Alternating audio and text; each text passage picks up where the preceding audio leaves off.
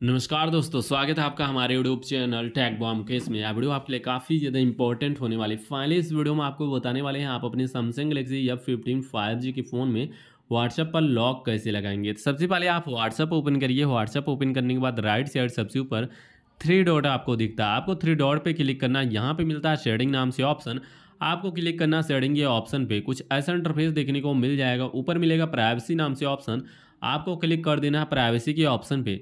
Privacy के option पे जैसे ही आप क्लिक करते हो क्लिक करने के बाद यहाँ पे आप सबसे नीचे आओगे फिंगरप्रिंट लॉक नाम से ऑप्शन मिलेगा। आपको फिंगरप्रिंट लॉक के ऑप्शन पे क्लिक करना है। इसके बाद यहाँ पे आप देख पाएँगे अनलॉक विथ फिंगरप्रिंट का ऑप्शन है। आपको इसको ऑन करना है और ऑन करने के बाद आपको फिंगरप्रिंट सेंसर पर अपना फिंगरप्रिंट टच कर देना है। ये ऑन हो जाएगा। अभी आफ्टर वन मिनट है इसको पहला ऑप्शन इमीडिएटली का इस पर क्लिक कर देना है। इसके बाद अगर चाहते हैं कोई भी चैटिंग मैसेज वगैरह आता है व्हाट्सएप पे तो नोटिफिकेशन में दिखाई दे तो इसको ऑन रहने दीजिए। अगर चाहते हैं मैसेज नोटिफिकेशन में नहीं दिखाई देना चाहिए तो इसको बंद कर दीजिए, सबसे नीचे वाला ऑप्शन इसके बाद फाइनली हमारे व्हाट्सएप पर लॉक लग चुका है, आप देख सकते हो।